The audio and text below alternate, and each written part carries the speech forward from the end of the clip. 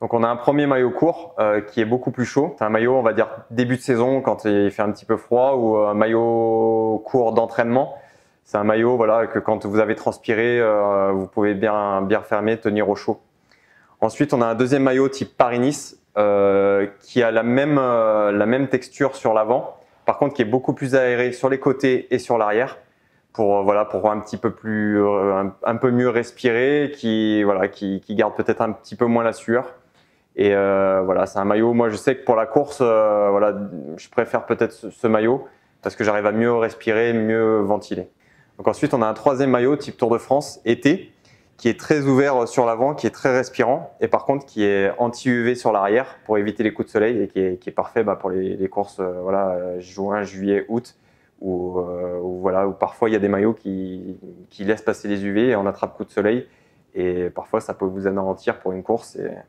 Et vous rendre KO. Donc là maintenant, ah ouais, un, vêtement que, j'aime beaucoup, c'est euh, le maillot sans manche, le, gilet sans manche. C'est un maillot qui est très très léger, qui est très fin, et, euh, et, quand vous le mettez en boule dans la poche, il prend vraiment pas de place. Euh, il n'y a pas de poids presque en plus. Et oui, ça, pour moi, c'est l'indispensable du début de saison et parfois aussi à l'entraînement. Parce que vous avez des barres dans la poche, vous avez des gels, et parfois, il y a, voilà, il y a des, il y a des un peu plus gros qui sont un peu plus euh, conséquents en taille et euh, qui prennent de la place. Et ça, euh, ça c'est un indispensable. Maintenant, je vais vous présenter les cuissards courts. Donc, on a un premier cuissard court type hiver ou début de saison qui est, qui est un peu plus chaud que celui que je vais présenter après. voilà, ça va être un cuissard voilà, type entraînement, aux premières courses, voilà, en dessous de, euh, en dessous de 5 degrés, en dessous de 10 degrés, c'est un cuissard qui est parfait, qui peut très bien aller avec une paire de jambières pour l'entraînement. Quand vous faites des exercices, vous enlevez vos jambières, vous les remettez en haut d'école. Il est parfait pour euh, l'hiver et pour le début de saison. Ensuite, on a un deuxième cuissard, on va dire type course, euh, course jusqu'à aller au mois de mai, qui n'est pas ajouré, mais qui, qui est parfait pour voilà les entraînements quand les beaux jours vont arriver. Pour les premières courses, Parfait. Ensuite, il y a un troisième cuissard, euh, le même que celui-là, mais ajouré, qui va très bien, par exemple, avec le maillot été qui est complètement euh, respirant, qui est ajouré sur les côtés. Et euh, voilà, pour les premières chaleurs, grosse chaleur, c'est des, cuissards parfaits. Pour l'hiver, il peut y avoir plusieurs choix. Vous avez un premier maillot court, ça c'est une nouveauté, j'avais jamais, jamais vu par le passé encore. C'est un maillot court très chaud, presque, thermique, mais en maillot court, euh, qui peut très bien convenir euh, pour une course début de saison, pour un entraînement début de saison. Il peut aussi convenir euh, par-dessus un maillot course pour la course. voilà, quand il fait, assez froid en course, un maillot qui peut, qui peut être très bien en par-dessus. Ensuite, on a un maillot classique, maillot manche longue, qui est très bien pour les, entraînements bah, début de saison, quand on a encore un peu des températures entre, entre 10 et 20 degrés. Euh, quand il fait trop chaud pour mettre une thermique et quand il fait trop froid pour mettre un maillot court, c'est le maillot parfait pour voilà, février, mars, avril. Ce maillot peut aussi convenir en course euh, quand on a une course plate qui, est assez facile. On peut le mettre par-dessus un maillot court, peut très bien convenir pour euh, début de saison et euh, surtout moi à l'entraînement, c'est un maillot je pense que je mets la plupart du temps. Euh, j'habite dans le sud et c'est un maillot un peu passe-partout qui, qui, convient à beaucoup de températures. Et ensuite, on a le maillot, le maillot thermique hiver qui, qui, convient très bien à des, des, températures extrêmes ou voilà, en dessous de en dessous de 5 degrés, voire en dessous de 10 degrés. Alors généralement, on porte un maillot manche long, un sous-maillot manche longue long dessous avec un col qui monte un petit peu, des manches longues. Et c'est un maillot voilà, où beaucoup pour l'endurance. Rester au chaud l'hiver, c'est un maillot très très important pour euh, voilà, novembre, décembre, janvier. Euh, c'est un indispensable de l'hiver.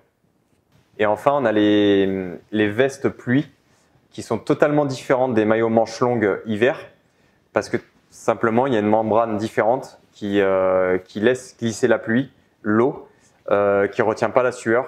Et c'est totalement différent des maillots manches longues qu'on peut avoir l'hiver. Euh, il faut faire vraiment la distinction entre, euh, entre un maillot manche longue classique et un maillot manche longue pluie. Voilà, et quand, quand on commence à avoir des températures fraîches sous la pluie.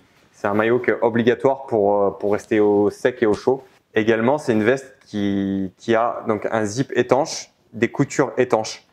Euh, voilà, donc c'est un, une veste qui peut très bien convenir voilà, sous, des températures euh, voilà, comprises entre 10 et 20 degrés sous la pluie. Et en dernier, donc on a la, la veste pluie euh, un peu plus chaude, pareil, zip étanche, couture étanche. Et c'est une veste, voilà, quand on, voilà, je la mets surtout quand on est sous des températures en dessous de 10 degrés sous la pluie, euh, qui tient un petit peu plus chaud. On a une matière différente, un peu, un peu plus polaire à l'intérieur. C'est une veste que je porte généralement par-dessus euh, un maillot court, euh, souvent en course. On a le maillot de course avec nos dossards. Et quand on est dans des températures en dessous de 10 degrés, c'est la veste de pluie voilà, incontournable.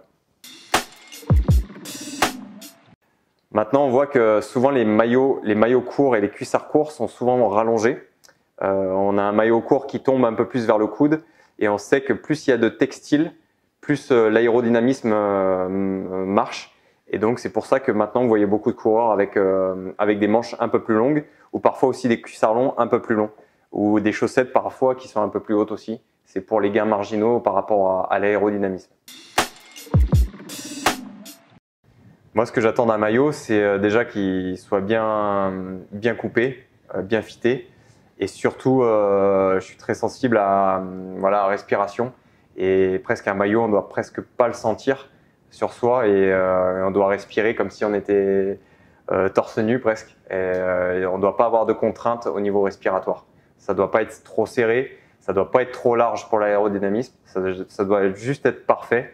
Ça doit être un bon compromis entre tout, entre euh, pas avoir trop froid, pas avoir trop chaud euh, et une coupe parfaite.